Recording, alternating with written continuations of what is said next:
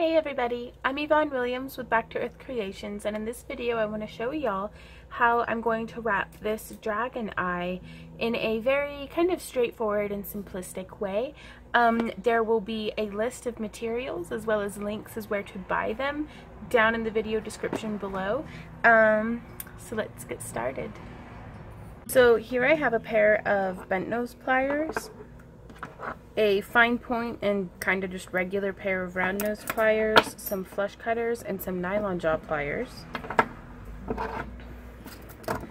I'm using 18 gauge aluminum wire and I have an eye that I painted that is 40 by 30 millimeters. There's links for all of these down in the video description below if you'd like to buy your own. And here I have an assortment of different Swarovski and crystal, um, like just bicones mostly. Um, some of them are different shapes, but for the most part, they're bicone. And you can use whatever color and size and everything that you like. Um, these are just some of what I'm using. And I would like to pick out some that look good with my eye. I would really like to, you know, accent some of these deeper bronzy tones in it. So I'm going to pick out two of these. Um, how would those look with it? No, not as much. Ooh, the dark, the dark green might look really nice though. Though I think I'm going to go with a slightly larger. The bronze that I chose were a 6 millimeter. So these are an 8 millimeter bicone. And I think that's enough to get me started.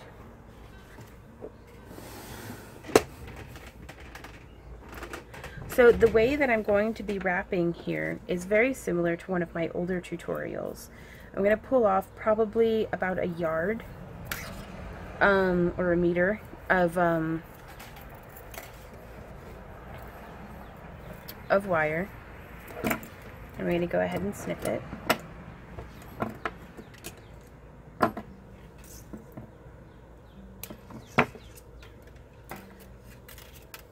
And you can straighten it with your fingers or with your nylon jaw pliers. This is a pretty soft aluminum, so I'm just doing it with my hand. And I'm going to come in with my bent nose pliers. And not quite at fully the halfway mark, but I'm just going to round about in the middle, do a Z, kind of like that, where the end's coming off this way and this end's coming off this way. And I want it to be just a little bit shorter than the width of my eye. This eye I painted, um, if I remember to, I'll either put something popping up on the screen or something down in the video comments below showing how I like to paint my dragon eyes. But I've painted it and it's cured for about three or four days. That way, not even a fingernail will leave an imprint on the enamel on the back. Um, you could also cover it with a layer of Mod Podge or epoxy, but if you let it cure for a few days, it should be fine. So I'm bracing it against the back with my finger, bracing the wire between the cabochon and my finger, and wrapping it around until it sits like that. And I'm going to do the same thing to the other side. Just wrapping it around so it looks like that. Now I'm going to remove my cabochon. I'm going to use my fingernail or pliers, whichever you prefer, to do a little bend just to encourage the wire to wrap at that point, in which case I wrap it around this main wire. Just one little wrap there. So do the same thing on the other side. Just putting a little bit of a bend in it with my fingernail. Bracing everything together as best I can. I'm going to check and make sure yeah, my framing's okay. And just kind of wrap around.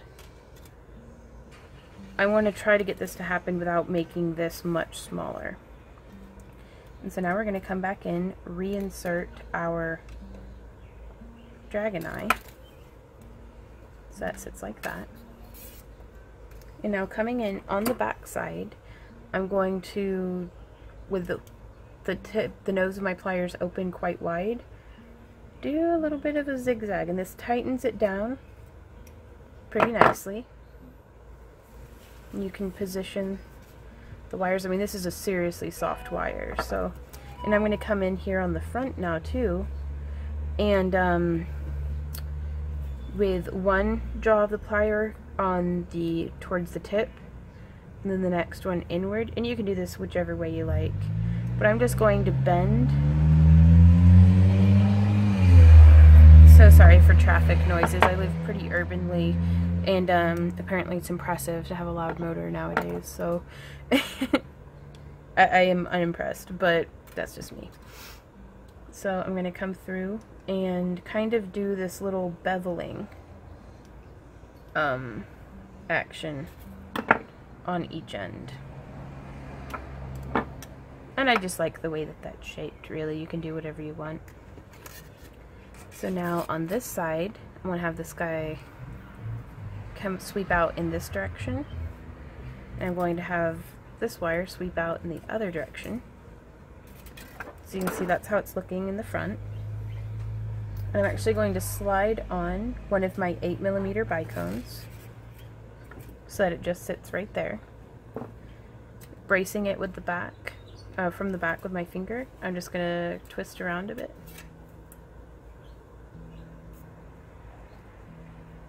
So it sits like that. I'm going to do the same thing here to the other side.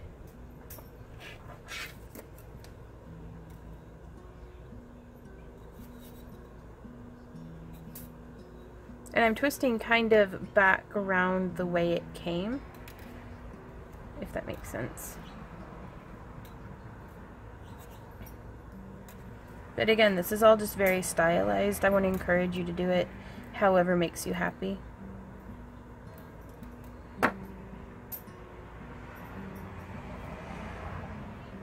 so this one's coming around. And I'm going to slide a 6 millimeter bicone. Now it's having a hard time traveling down the length of my wire, so this is an excellent opportunity to use my nylon jaws to kind of straighten some of those kinks out. Because that makes it a lot easier to slide your bicone on, and you don't want to risk your bead breaking. So again, I'm going to put just a little bend in the wire to encourage it to curve where I want it to. And I'm going to wrap around my bicone. Oh, I'm just going to thread back through that little loop there too. Almost like tying a knot in my wire.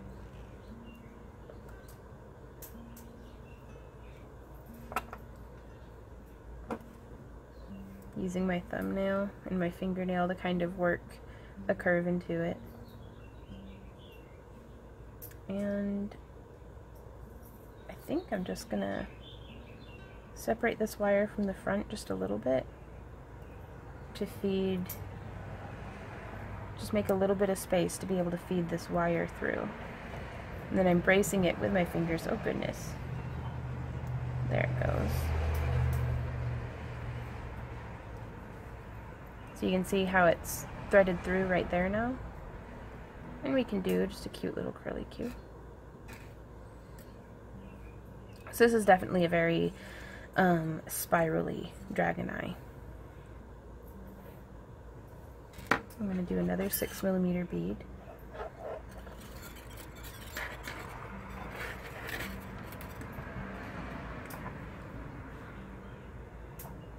Again, doing a little bend in the wire twisting it around, looping it back through itself. I enjoy some elements of symmetry in my work, but you can do whatever you want. Like, don't feel like you have to do something just because I did a certain way. So again, just opening that up some, sliding my wire through. Because I feel like these wire, this wire here and here help stabilize this frame that we've made on the eye and just helps kind of keep it from um, popping out in the future. That bird is just singing for all it's worth. okay, and so now from here, I want to start giving a little bit more of the impression of a lid. So we can just bring our wire right across.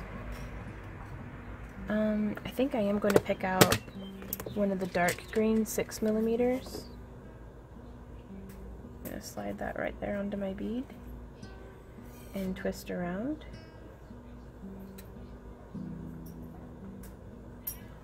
And I'm going to thread this wire through that loop that we just made. Trying to make sure it doesn't catch up on anything.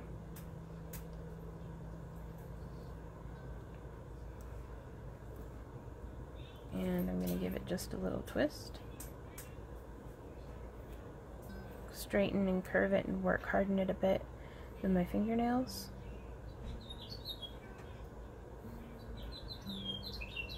and bring this around and I don't know I'm just kind of making it up as I go I'm going to tuck this around through the back here and fold that up.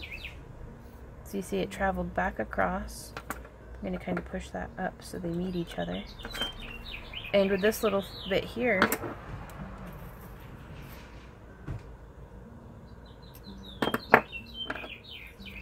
I'm going to make just a nice little spiral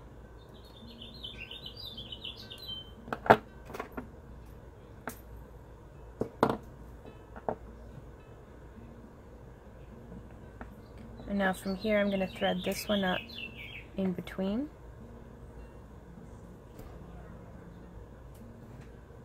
And I think what I'm going to do, maybe, I'll be right back.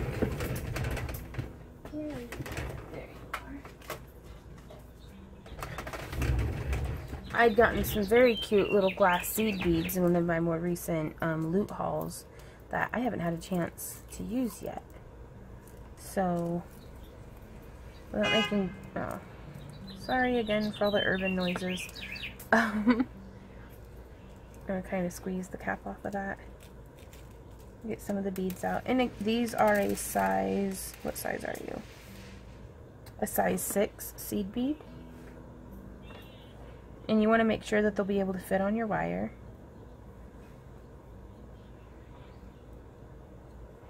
And I'm just going to string a bunch of them on.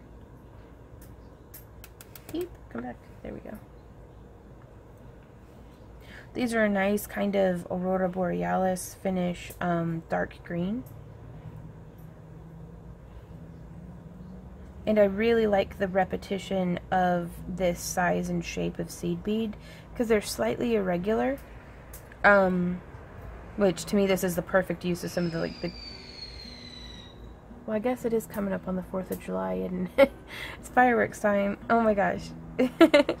um, but the way that they're kind of stacked next to each other, I feel like gives a nice impression of, um, like scales, like reptilian. Like, so it gives, again, I think, a little bit more of an impression of like an eyelid. So I'm keeping that nice and snug as I come across. I'm going to do these few more.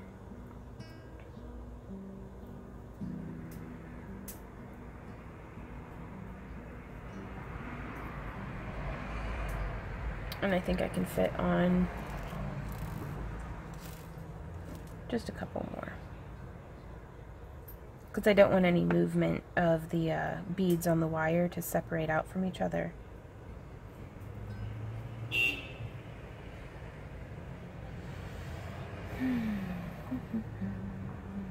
Okay, so now I'm just kind of squeezing this wire through behind some of the other ones. I'm going to use my bent nose pliers to grab the tip and pull it through nice and snug but trying to not distort anything. I'm going to shift this little spiral around so it sits more forward. Oh mercy. Seriously neighbors?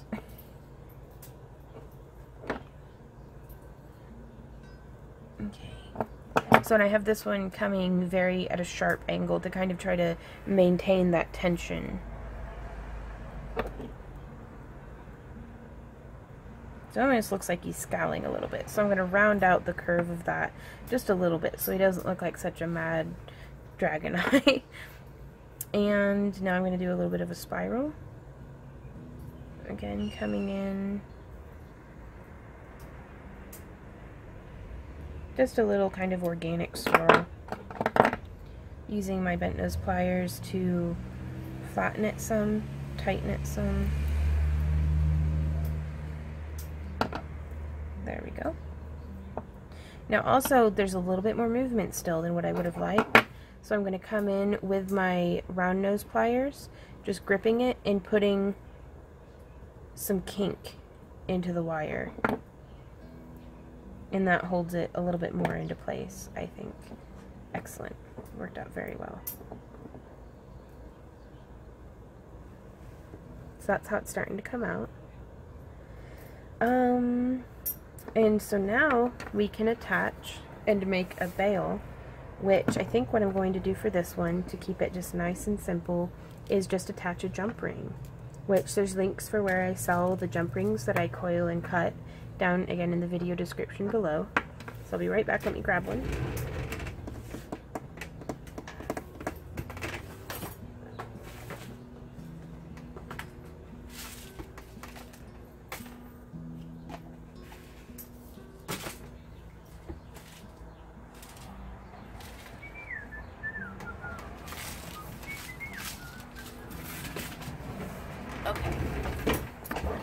This one is an aluminum 18 gauge 1 4th inch jump ring.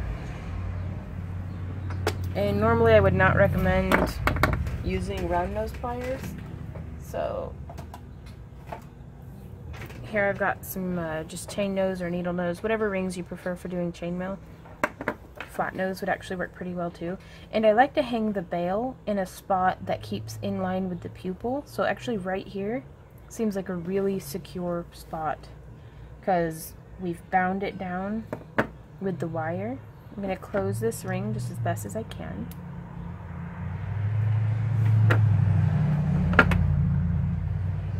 And so that's a way, one of infinite ways to um, wrap a dragon eye.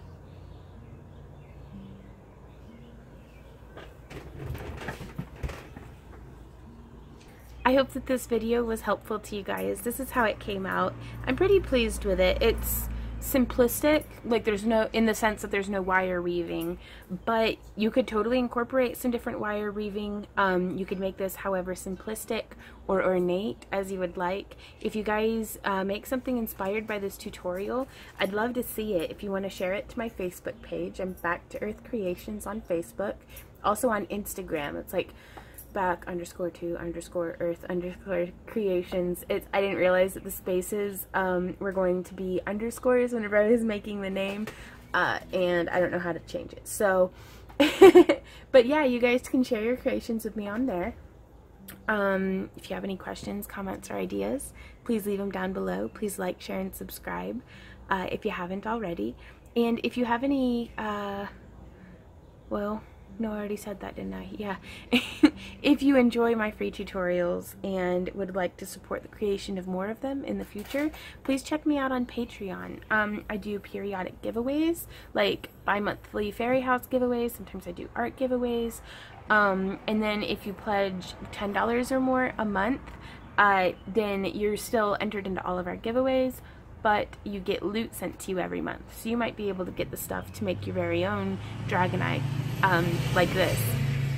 So yeah, that's what, if you pledge $1, sorry, it puts your name into the hat for all of our giveaways across the board. If you pledge $5, it puts your name in the hat five times, but also like you get behind the scenes um, pictures and all kinds of stuff like that. So thanks you guys so much. I again i do hope that this was helpful to you. I've had a lot of different requests and i think i'm going to do a bunch more videos just showing a lot of different variations of just because this didn't have a whole lot of planning behind it. Like i start the eye with that frame and then just let it go. So um hopefully we'll get more of these in the future. Let me know what you guys think and have a wonderful day. Happy crafting. Bye